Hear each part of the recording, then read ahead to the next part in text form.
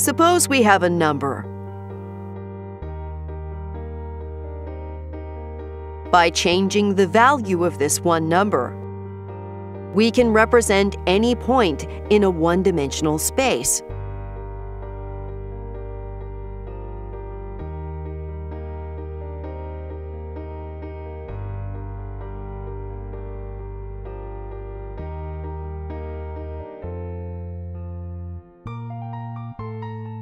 Now suppose we have two numbers.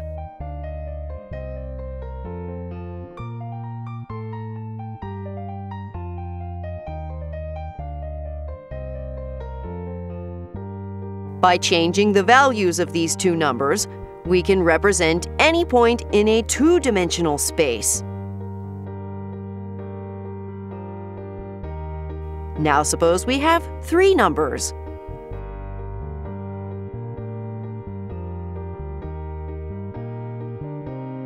We can now represent any point in a three-dimensional space.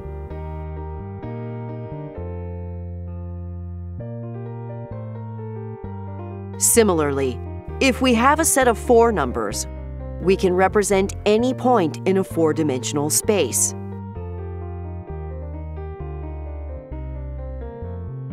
If we have a set of five numbers, we can represent a point in five-dimensional space.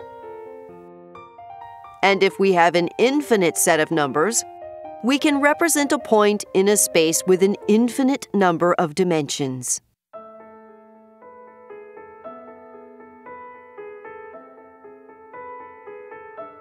Regardless of how many dimensions we have, each set of numbers which represents a point in space can be thought of as an arrow, which we will call a vector.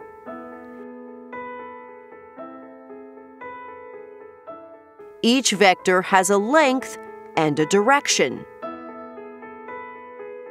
If we multiply the vector by a number, the vector's length will change, but its direction will stay the same.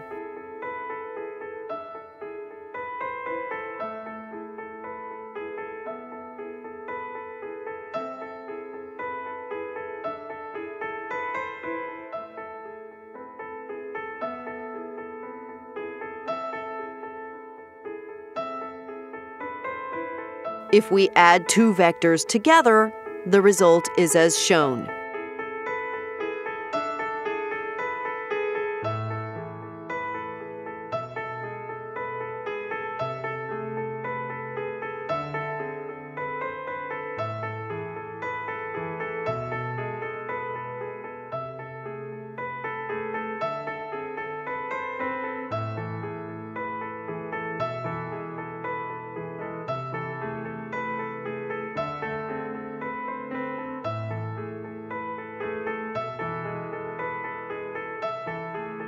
Each vector can be thought of as the sum of vectors pointed in each of the different dimensions.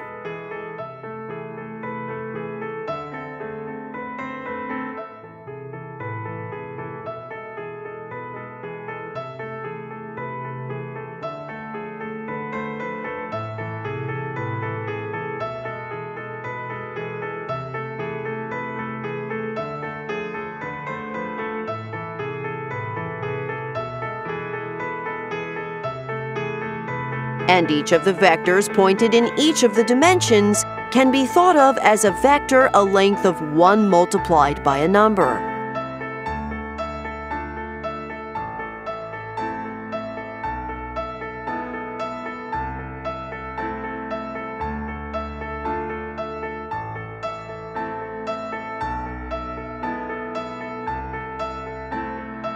There are many transformations that can be applied to a vector.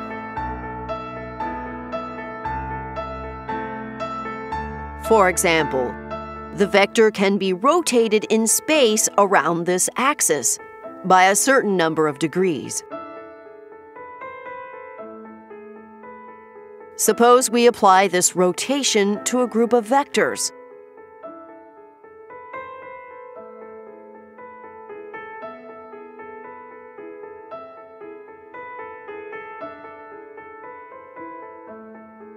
And then we add all the vectors together.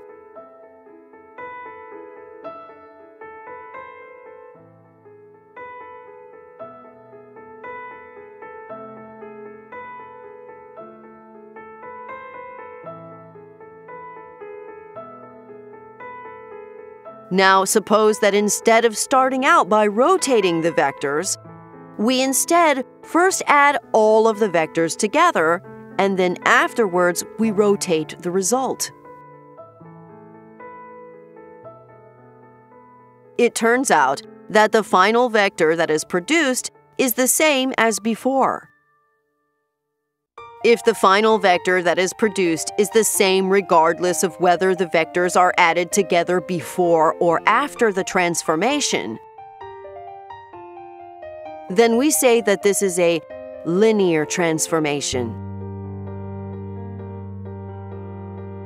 Another example of linear transformation is having the vector stretched or squeezed as shown.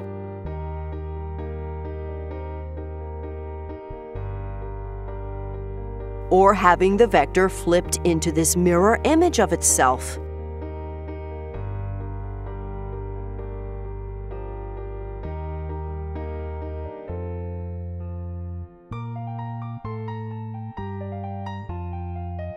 Or having the vector stretched in this dimension and then flipped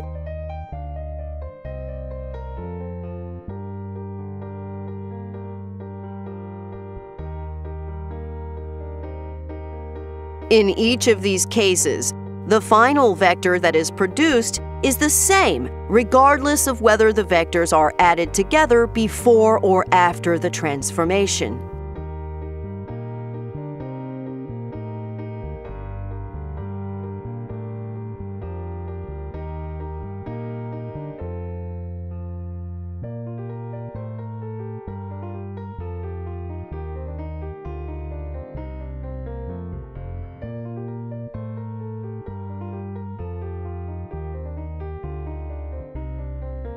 In each of these cases, the final vector that is produced is the same, regardless of whether the vectors are added together before or after the transformation.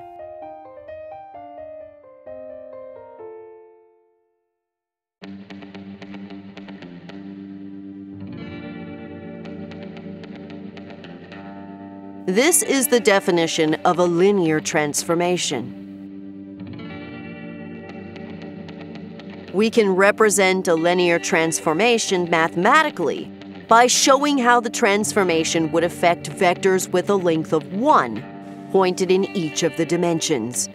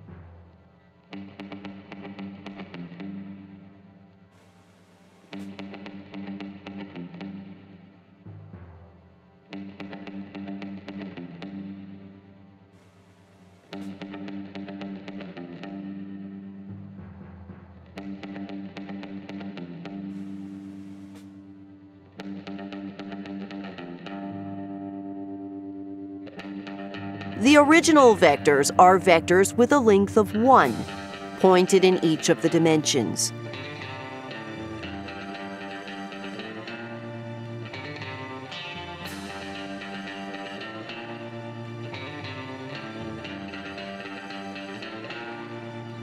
After the transformation is applied, the new vectors are the result.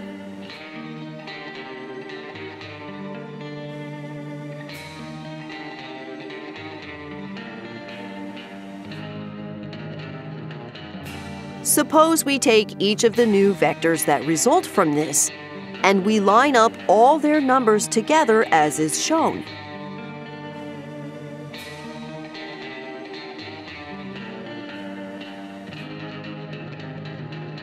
We now have what we call a matrix.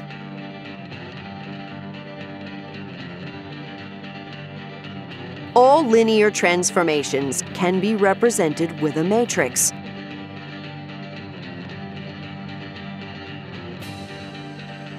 When we apply the transformation, we say that we are multiplying the vector by the matrix, and we represent it like this.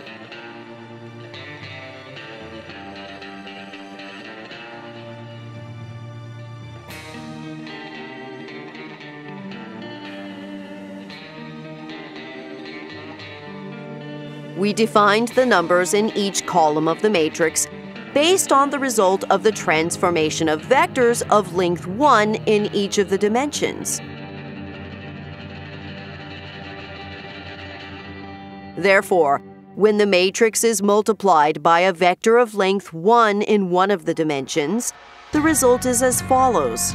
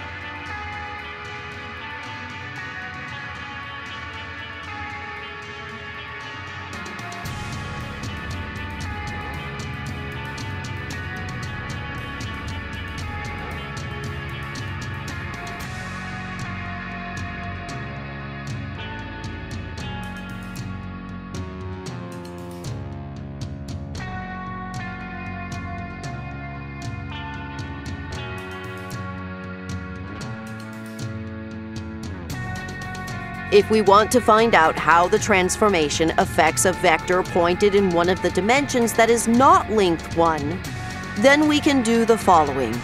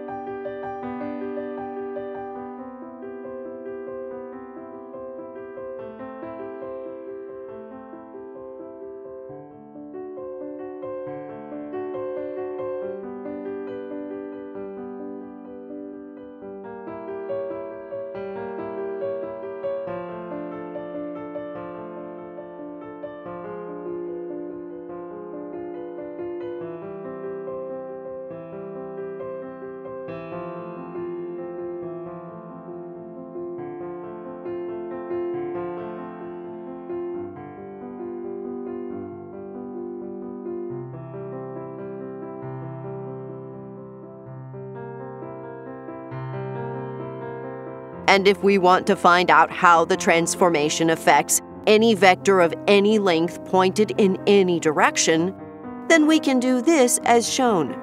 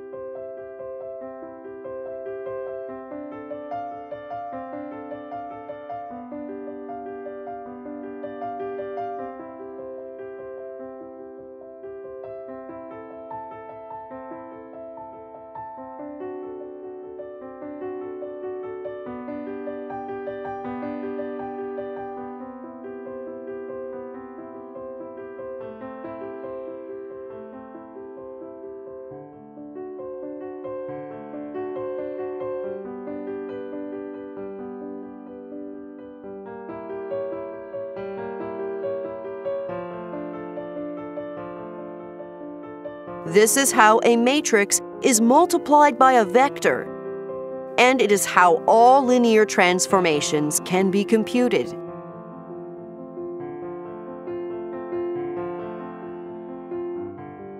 This is true for four dimensions. For five dimensions.